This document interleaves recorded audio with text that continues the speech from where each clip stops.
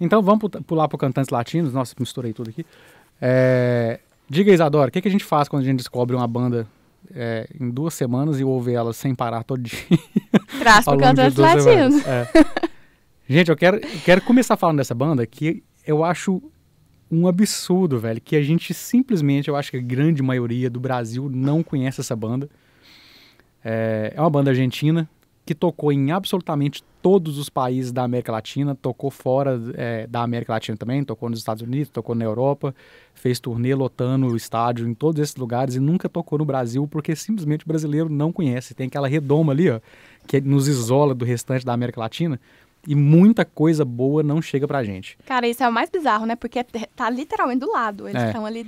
E não tem desculpa, porque assim, tem desculpa do ponto de vista comercial, mas não tem desculpa cultural, né? Você não pode falar que é uma cultura diferente da nossa porque não é. Você não Falta pode de falar, acesso. ah, mas a língua é diferente e tal. Mas quanta música em inglês entra no nosso mercado, assim, ó, fazendo a festa, sabe? Então não faz sentido também, não é, não é questão de idioma, é uma questão muito mais de marketing. É, é mais fácil a música que faz sucesso nos Estados Unidos entrar no Brasil do que a música que faz no restante da América Latina entrar lá. Então acaba que um, um dos nossos papéis aqui é apresentar o que a gente acabou tendo contato, é, seja de coisas que a gente já vem ouvindo há, há anos e anos, ou coisas que acabaram caindo no nosso colo de alguma forma, como caiu essa aqui no meu colo recentemente, que é só da estéreo. É, e é, é interessante porque, na verdade, o brasileiro conhece uma música, todo brasileiro conhece uma música dessa banda, pelo menos, é, porque ela foi. teve uma versão dela feita pelo Capital Inicial e que foi um sucesso absoluto ali por volta de 2002, 2003, é, que foi A Sua Maneira, né? Uhum. A Sua Maneira é uma versão de uma música que chama De Música Ligeira, é, que inclusive teve uma versão também do, do, do Paralamas, mas que nem compensa escutar. a versão do Paralamas é bem ruimzinha. É, mas, pô, essa música do Capital fez um sucesso absurdo, né? Mas conta, como que foi que você descobriu essa banda? Porque eu só lembro, esses dias, foi final de semana? Semana passada, sei lá, na sexta. Eu tava lá na cozinha de boa e você virou, você conhece essa música aqui? E colocou. Aí eu, conheço, identifiquei, né, o som e tal, mas não, não lembrava da existência dela. Eu tava lendo uma matéria, eu acho que foi no no Iplash, acho que foi. É, não lembro o que era o, o, o, caso específico, mas chegou nessa informação de que a sua maneira era uma versão de uma música é, de uma banda argentina. Aí tinha lá Soda Stereo, de, de música ligeira. Aí eu falei, cara, de- deixa eu escutar isso. E tipo assim, não é uma música recente, é a música de 90, cara. Sabe? Então assim, ela e ela rodou a América a Latina. sua maneira é, Não, a sua maneira é de é 2002. de 2002, É.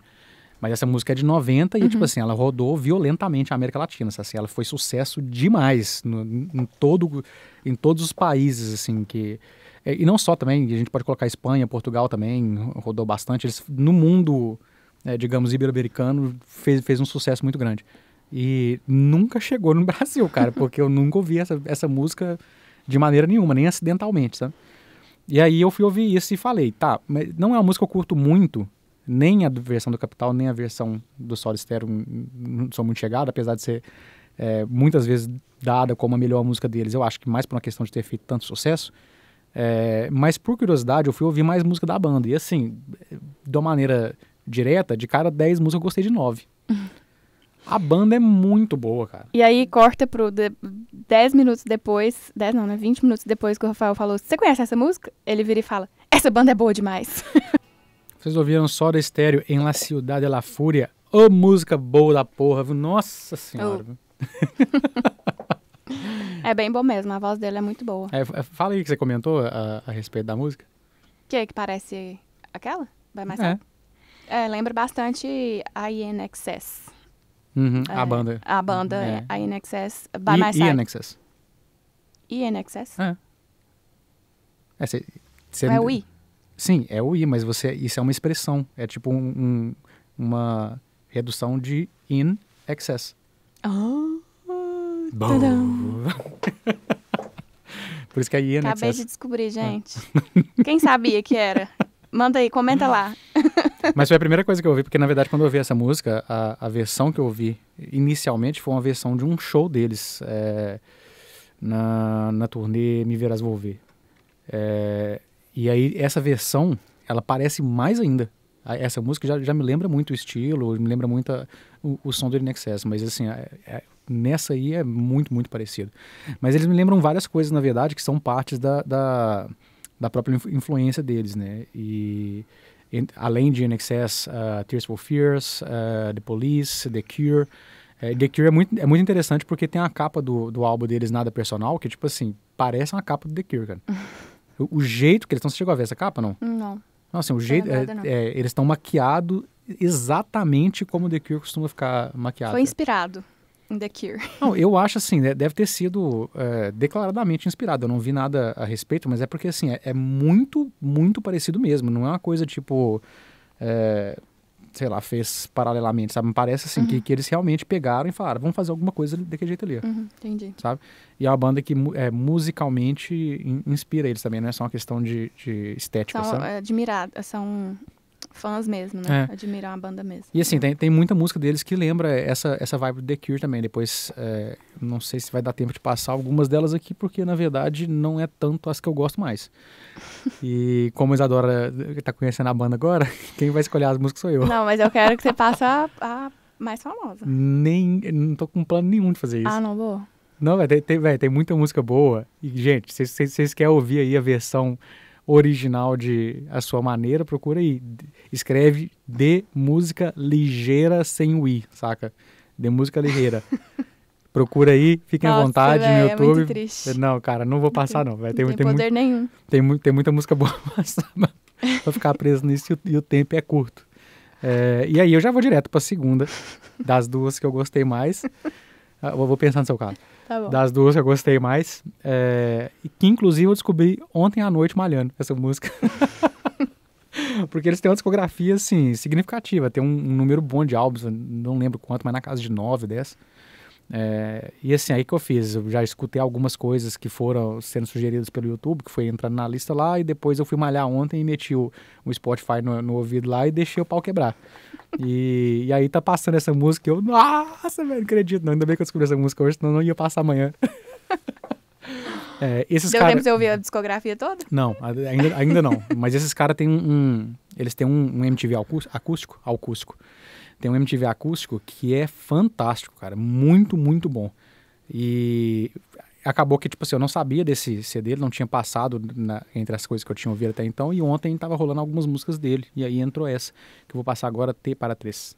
Vocês ouviram T para 3 MTV ao vivo? O que, que você falou aí, nego? Tava só tentando imaginar você malhando ouvindo essa música. Ai, se oh, ah, se as pessoas tivessem a capacidade de ouvir o que eu tô ouvindo quando eu tô malhando, elas iam se assustar tanto, cara, porque tem, tem tanta coisa. Eu malho direto ouvindo Nina Simone. e- Mas eu também, eu, eu, quando eu ia pra academia, eu escutava Chico Buarque, Uhum. é, sabe? Tipo, coisa mais lentinha, assim. Mas muda alguma coisa pra você nesse, nesse aspecto, não? Não, eu gosto de ouvir as músicas boas mesmo. Não... É, eu já, já comentei com o seu, na verdade, assim, o que faz muita diferença pra mim, na verdade, não é nem é, se a música é pesada, se ela é leve. É, música boa eu sempre, sempre tô ouvindo, né? Então isso aí não, não tem como discutir. Mas é, para mim o que faz mais diferença é ela ser progressiva é, em termos melódicos ou não. Eu, eu me dou muito bem treinando, ouvindo uma música que vai aumentando o número de instrumentos, que vai Ah. aumentando a força com que o cantor tá cantando, que vai progredindo de alguma forma, É, que sabe? parece que você vai acompanhando, né? Isso, assim, você vai, vai- eu sinto que eu vou aumentando a energia também, que eu vou empolgando ali, não vai um negócio, tipo, desanimando, sabe? Então eu acabo me sentindo muito melhor com isso. É, mas ontem eu estava ouvindo, na verdade, para conhecer, então assim, eu queria ver, ouvir o máximo possível para ter um- uma gama boa de música para apresentar aqui, para não ser obrigado a passar de música ligeira. Gente, preconceito com as músicas famosas. ai, ai, não, gente, mas quem Todas as músicas, lá, não todos tem- os, os cantantes latinos que a gente fez, você- você foi contra a música mais famosa deles. É que geralmente a música mais famosa é a pior, né? Nossa. É- não é verdade? Não. No- Eu acho isso muito. é, tem exceção, mas isso pra mim é muito regra, cara. É Hum. muito comum você pegar uma banda que tem músicas maravilhosas e a música estoura, tipo, é fraquinha e tal. E faz é do sucesso demais. Não, cara, é. é- Enfim, a gente já, já deu vários exemplos aqui, né, cara? Seu! Tá. Então tá bom. Essa música eu queria comentar, é, que ela me lembra, ela tem uma, uma vibe muito grande de Cortez the Killer. Você lembra do Neil Young? Hum, hum.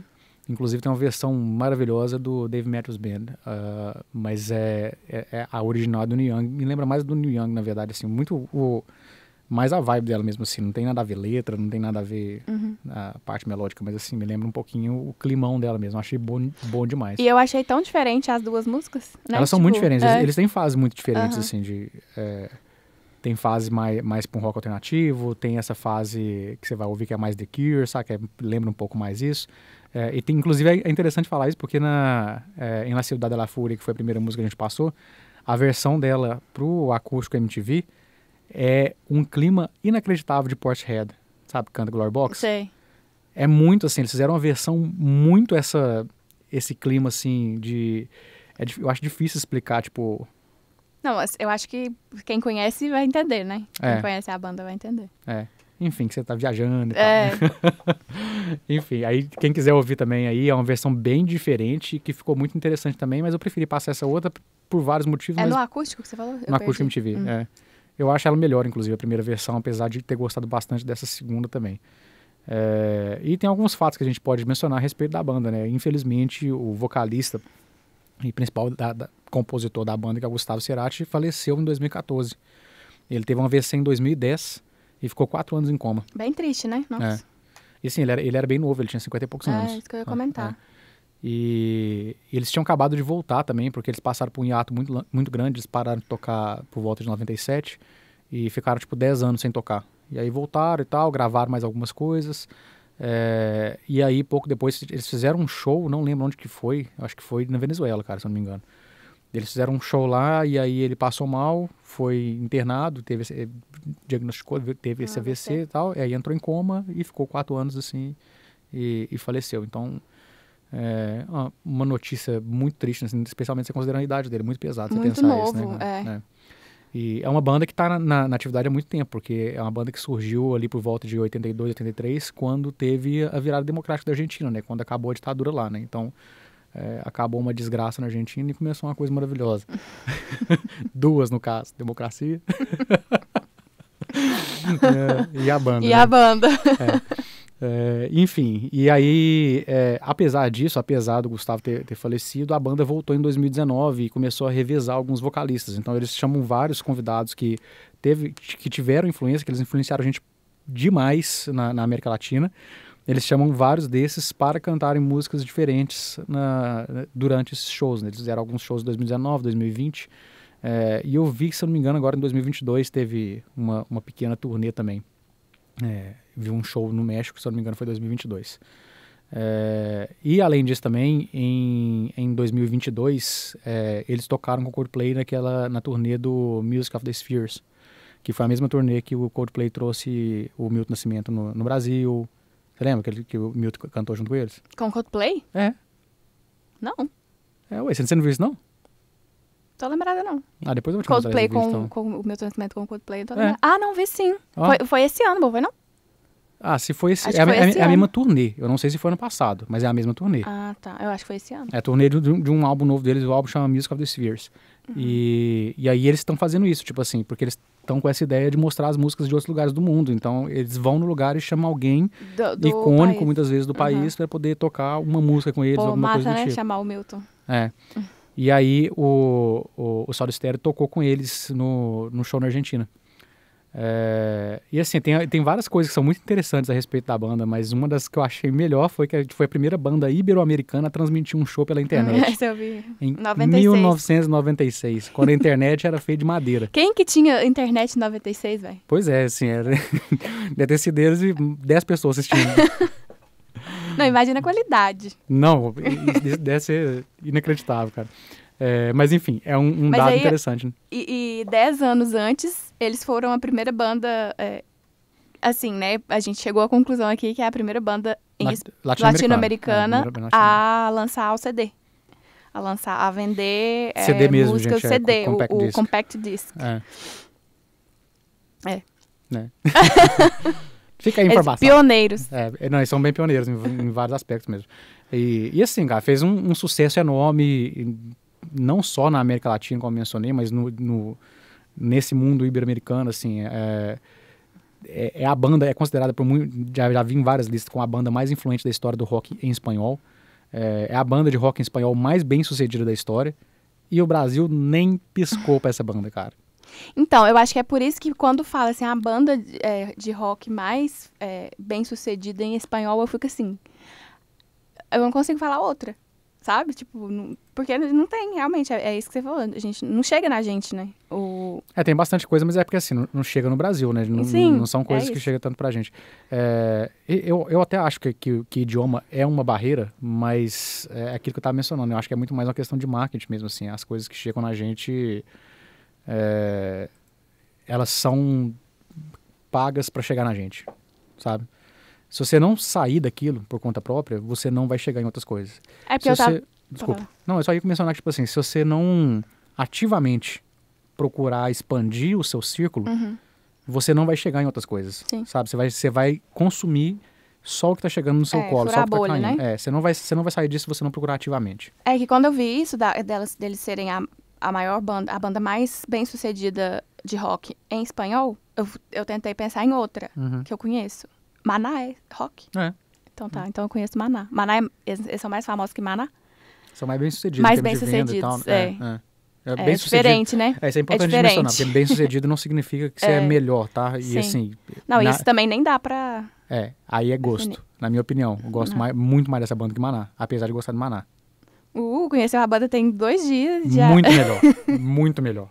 Tá? Ui. Mas gosto de Maná, tá? Tá Agora, bom. sim, bem sucedido é outro critério, porque eh, quando você pega a lista dos álbuns mais vendidos, eu, eu fiz isso, porque eu estava pesquisando a respeito dessa banda. Aí você pega a lista dos álbuns mais vendidos na América Latina, álbuns mais vendidos no Brasil, é, e vai dar uma olhada, meu amigo, mas tem cada coisa que você fica, caralho, não acredito nisso, velho. É, é, é assustador. Mas assim, é compreensível porque é essa questão que a gente falou do marketing, né? Tem, tem gente que só escuta é, e cai tipo, no colo. Maná eu conheço por causa de novela. Então, acho que muito do que chega no é, Brasil... Eu conheço por causa de novela, porque Maná é. também, tipo, chegou no, pra gente, isso foi o quê? 2002, 2003? É, 2002, Mulheres Apaixonadas. 2002, né? Então, assim, eu também conheci dessa época, porque é.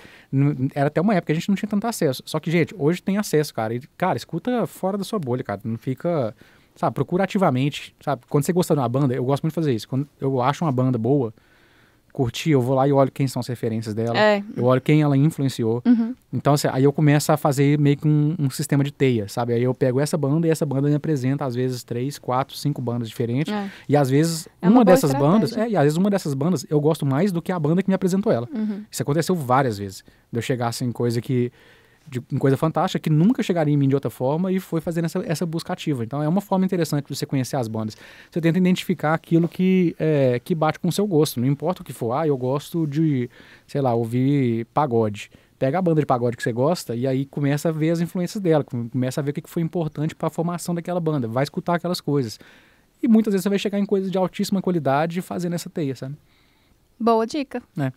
E foi assim, foi várias das bandas que a gente trouxe aqui, inclusive eu acabei conhecendo foi sim, principalmente bandas é, não brasileiras, porque as brasileiras eu muitas vezes alguma pessoa me apresentou, mas as bandas latino-americanas não brasileiras é, não aconteceu muito isso. Não é muito comum alguém me apresentado alguma coisa. Geralmente era eu fazendo busca ativa.